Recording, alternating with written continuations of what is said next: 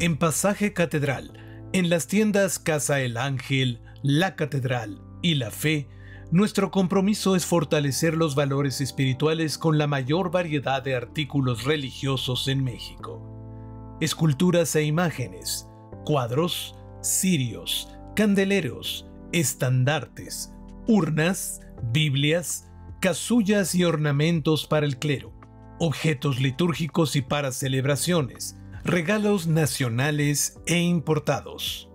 Y lo mejor en orfebrería de Latinoamérica. Casa El Ángel. En Guatemala número 10, local 17, en Pasaje Catedral. Teléfono 55 55 10 14 38. Facebook Casa El Ángel. www.casaelangel.com.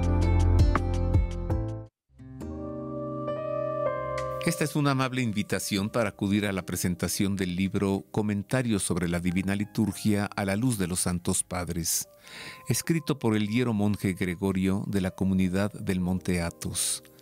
Será presentado por Siluán Musi, arzobispo de Monte Líbano, y por Ignacio Samaán, arzobispo de la Iglesia Ortodoxa Antioquena, en la Universidad Pontificia de México, el jueves 16 de mayo a las 5 de la tarde. Entrada gratuita. Conozca la sabia doctrina de la patrística.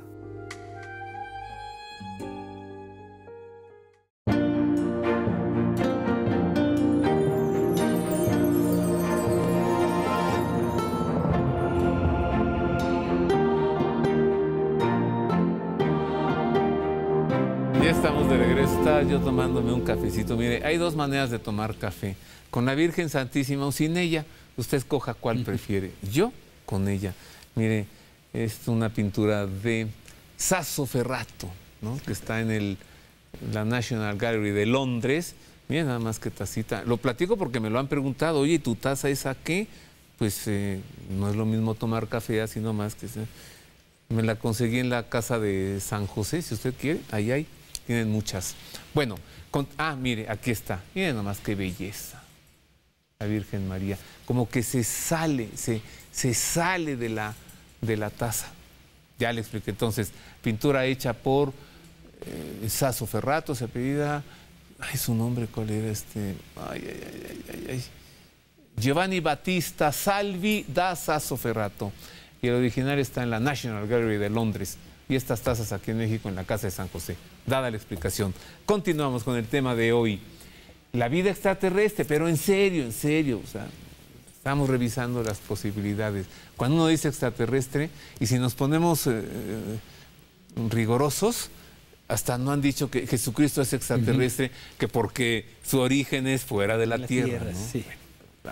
Aliens, pues digamos. Estoy conversando con Jorge Luis Ortiz, maestro en filosofía, director de la Facultad de Filosofía en la Universidad Intercontinental, analizando seriamente la posibilidad de que Dios haya creado otros mundos y haya creado vida humana, por decirlo así, en otros mundos. ¿Serían humanos también? Ese es el punto. A ver. Me oyo. Históricamente ya hubo un momento en donde la iglesia se tuvo que preguntar, ¿y estos son humanos o no? Que fue el descubrimiento del nuevo mundo de América. Ah. Pío V recibe la pregunta de los frailes que llegan al nuevo mundo, oye, ¿qué hacemos con ellos? ¿Los bautizamos o no? Ajá. Pío V era un buen filósofo y dijo, bueno, una de las propiedades del hombre es que es risible. Y es muy simpática la carta porque lo que manda a contestar es, fíjense si se ríen. Si se ríen, bautícenlo, porque es señal de que son Sí. humanos. Yo creo que tendríamos que hacer algo así en el hipotético caso de encontrarnos con extraterrestres. A ver, ¿qué es? ¿Hacerles cosquillas? O algo así. Porque en realidad, un perro le haces cosquillas y mueve la patita, pero no se ríe. Es la corporeidad, músculos, abdomen, diafragma, junto con la razón que me permite captar el chiste, lo que me permite reírme. Los ángeles son muy inteligentes, pero no tienen cuerpo, no se pueden reír. Ajá. O sea, yo puedo decir, es que Dios es muy alegre, sí, pero no se puede reír en el sentido de la risa humana porque no tiene cuerpo. Le hace falta el diafragma que aviente el aire. O sea, las inteligencias pueden captar el chiste, pero no necesariamente reírse. Podría ser por ahí, pero no necesariamente eso. Es qué tan humanos son. O sea, ¿qué es lo que voy a encontrar allá? Puede haber vida a nivel vegetal, puede haber vida a nivel animal, puede haber vida inteligente que no necesariamente sea humano. Y entonces, todos los que son descendientes de Adán, todos los humanos, habrán que tener el pecado original.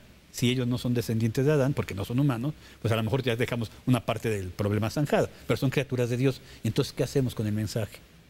Sí, a ver, volviendo a esto del descubrimiento de, América, ¿no? Mírate, vamos a bautizar porque pecaste. No, yo qué pequé, yo qué voy a pecar. Yo andaba aquí con mis pirámides, ¿no? sí. Pecaron ustedes. No, es que pecó el ser humano. Sí. Y entonces decir, tú también, es decir, tú eres... De los nuestros. Un, ser humano. De encontrar una vida inteligente fuera de la Tierra, tendríamos que preguntarnos primero si son humanos o no porque sabemos que hay vidas inteligentes que no son humanas. Los ángeles, por ejemplo. Puede haber otras vidas inteligentes. Los demonios, bueno, los, demonios son ángeles. Los ángeles en gracia o caídos, pero la naturaleza es angelical, vamos a, llamarle. Podría haber una corporiedad inteligente que no fuera humana. Es decir, que fuera inteligencia en un cuerpo y que no fuera humano. Ahí tienes una computadora. Sí, que están en un cuerpo y que, es, que estamos trabajando en la inteligencia artificial. Ajá. Y no es humano. Y no es humano. Y es inteligente. Entonces, esta criatura de Dios, que eso no lo ponemos en duda, que pudiera existir fuera de este mundo, en otro planeta, en otra galaxia, es humana o no. Y si no es humana, ¿cuál puede ser nuestra relación con ellos? Pero en ningún caso el dogma de la fe se, se, rompe. Yo sigo insistiendo en esta idea. Hasta que toda la creación tenga a Cristo por cabeza de San Pablo, es muy alentador. A ver, llevar el mensaje cristiano a otro planeta no suena irreverente, por decirlo de alguna manera. No suena conquistador, no, es, la misión del cristiano, ¿no? Hacer que toda la creación tenga a Cristo por cabeza. Tú pones a unos frailes franciscanos en una carabela, en un bergantín, y los envías al continente americano y llegan como misioneros a anunciar a Cristo el Evangelio. Ponte un fraile franciscano en una nave espacial y aviéntalo a aquel mundo y va a llegar y va a evangelizar a aquellos de allá. ¿O no? Sí, sí, sí, porque esa es la misión ¿Y cómo tendría que llamarlos? Oigan, eh, venimos, ustedes son ajenos a nosotros y no tienen nada que ver, pero les vengo a hablar. ¿O los reconocería como criaturas de Dios? Como hermanos. Esto se lo preguntaban al padre Gabriel Funes. Recuerdas que era el director del Observatorio Vaticano. Y no le cuento más. Mire lo que el padre Funes respondió. En abril de 2011, en una entrevista con el entonces director del Observatorio Astronómico Vaticano, el sacerdote jesuita Gabriel Funes, sobre su postura como creyente, si acaso el descubrimiento de vida extraterrestre inteligente no pondría en duda su fe en Dios, llanamente respondió, saludaría a mi hermano extraterrestre. Y explicó que Dios es el creador del universo y de todos los seres existentes por lo tanto, ese supuesto ser extraterrestre inteligente sería una criatura más de Dios, como lo soy yo, y por ende seríamos hermanos, como lo somos todos los seres humanos de este planeta sin distingo de raza, color, sexo y religiosidad. Es una falacia difundida por ateos y escépticos, ignorantes de la fe y enemigos de las religiones, en particular del cristianismo, sostener que el descubrimiento de vida extraterrestre inteligente demostraría la inexistencia de Dios creador y haría brillar la luz de la ciencia. Ya desde el siglo XIX, en 1877, el padre Niceto Alonso Perujo vio justo publicar su libro La pluralidad de los mundos habitados ante la fe católica, con el fin de desmentir al astrónomo Camilo Flammarion, quien luego se involucró en el espiritismo y junto con otro espiritista, Alan Kardec, movidos por un odio al cristianismo, quisieron revivir el ancestral concepto egipcio de la transmigración de las almas. De esta manera, Flammarion pretendió demostrar que la teología sostiene que no puede haber seres inteligentes fuera de la Tierra e inventó que cuando alguien muere, su alma transmigra a otro planeta para ocupar otro cuerpo humanoide y así sucesivamente. Por su parte, El padre Niceto demuestra en su libro que la hipotética idea de la vida inteligente en otros mundos sí es compatible con la teología. La Sagrada Escritura también pudiese estar acorde con la vida extraterrestre si acaso la expresión de Jesús documentada en el capítulo 10 del Evangelio de San Juan, Tengo otras ovejas que no son de este redil, pudiese interpretarse como una referencia del mismo Jesús a posibles seres humanos inteligentes y con libre albedrío fuera de nuestro planeta. En el caso de comprobarse la existencia de vida extraterrestre inteligente, cabría bien el criterio que expresó Galileo Galilei en su carta a la duquesa Cristina de Lorena. Si se descubre un hecho comprobado científicamente sin lugar a dudas, que pareciera contradecir la interpretación aceptada de las Sagradas Escrituras, sería necesario buscar una interpretación alternativa que se adecue a los hechos científicos constatados. Yo siempre me había preguntado si esa expresión de Jesús, tengo ovejas que son de otro redil, no se referiría acaso hacia el mundo musulmán islámico. Y ahora vemos que pudiese ser aplicable a otras ovejas de otro redil, de otro planeta. Sí, pudiera ser también, ¿no? Porque en el caso de que hubiera vida inteligente en otro planeta, también tendrían que ser llamados a la salvación. Y la salvación es la vida con Dios una relación personal con Dios y eso sí pudiera ser establecido con otros seres inteligentes. Yo sigo creyendo que habría que tener más cuidado en no asustarse primero, ¿no? Ninguno de los dogmas entraría en colapso porque hubiera vida en otro planeta. Habría que, hacer ciertas explicaciones, como lo que estamos diciendo, ¿no? A ver, son humanos, no son humanos, son sujetos de sacramentos, no son sujetos de sacramentos, pero en tanto que son inteligentes pueden entender claramente que existe un Dios que quiera a su criatura. Hablabas hace rato de los franciscanos en una cápsula espacial. ¿Misioneros? Misioneros, ahorita lo que oímos es mis hermanos extraterrestres, sí, porque puede ser desde un hermano que lo conozco de tú a tú, o el hermano lobo o la hermana muerte, ¿no? Que son entidades diferentes al ser humano y que el franciscano no sí logra descubrir como hermandad en tanto que salimos de las mismas manos. Ahora, ¿qué tal que aquellos tuviesen conciencia de que fueron creados y tuviesen eh, conocimiento de Dios? ¿Ese sería un punto de unión? Sí. Porque si yo estoy consciente de esto y le llamo a él hermano extraterrestre, y si él sabe esto, tendría que llamarme a mí igual. Hermano. Claro. Hermano terráqueo, sí. Sería un punto de unión, ambos criaturas de Dios. O sea, Dios nos sigue uniendo. Cierto. Existimos en las manos de Dios. La creación entera existe en las manos de Dios. Esté en el planeta Tierra o esté en otra parte del universo. Pero la vida la creación, los astros están en la mano de Dios, están participando del ser de Dios. ¿Y cómo resuelves el problema del prójimo? ¿Quién es mi prójimo? Ajá. Sí, sí, sí. Entonces tendríamos que encontrar otros mecanismos de encontrar que el prójimo es aquel que comparte conmigo el reconocimiento de un ser creador. Y el que pudiéndolo hacer no lo ha hecho, también es mi prójimo, nada más hay que enseñarle porque a lo mejor nunca han oído hablar. ¿Y cómo vamos a creer si no hemos oído? ¿Se acuerdas de esa frase bíblica? Pues a lo mejor habría que hablarle. Pero a lo mejor también ellos por su camino han encontrado, porque es por vía racional, que existe un único principio del cual todo depende como existente. En tiempos de Jesús, el prójimo era otro judío. Y Jesús viene a decirnos que el prójimo no solamente es otro judío, sino que es también cualquiera no judío. Ese es mi prójimo, ¿no? Sí, el aliens, ¿no? El ajeno. Ah, empezando por el samaritano. El, samaritano era un alien, en sentido latino, para el judío. El samaritano era un alien.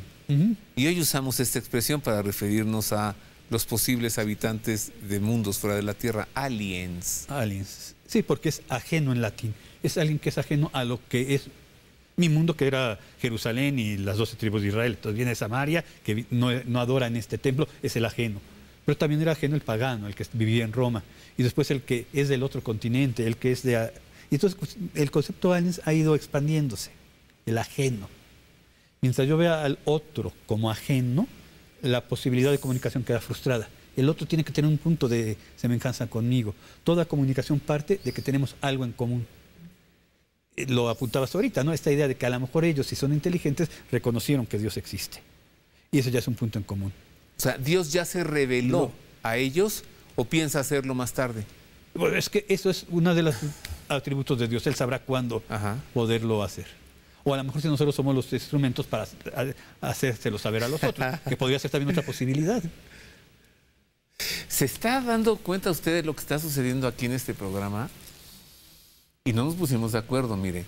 Están sucediendo varias cosas. Una, ver si a quienes llamamos aliens son ajenos a nosotros o son parte de nosotros. Es decir, son aliens o son el prójimo también. Y esto nos uniría como criaturas o hijos de un mismo Dios creador. Voy a hacer otra pausa. Regreso para hablar del Observatorio Vaticano. Y ahora sí, ¿qué buscan? ¿Qué tanto miran al cielo desde el Vaticano?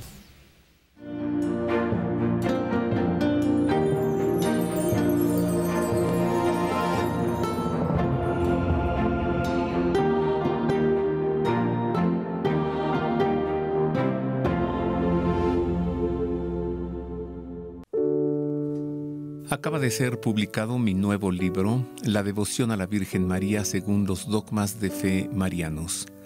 Devoción sustentada en sus cuatro dogmas de fe.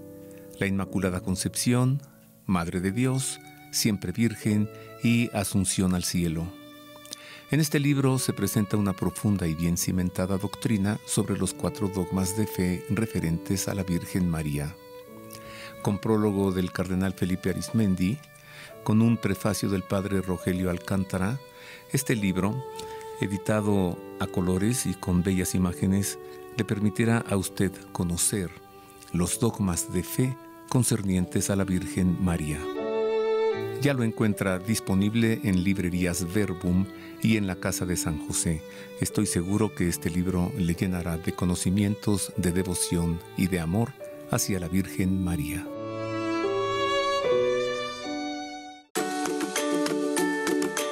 Librerías Verbum. Más de 20 años de servicio. Más de 8.000 títulos en temas de exégesis bíblica, teología, filosofía, liturgia, rituales, vida religiosa, espiritualidad, sociedad y religión, arte sacro y por supuesto las mejores Biblias al mejor precio. Además, si no tenemos un libro, lo buscamos. Avenida Cuauhtémoc 1116, Colonia Letrán Valle, Ciudad de México. Informes y ventas en www.libreriaverbum.mx y al 55 5688 9286 y 55 5688 9295.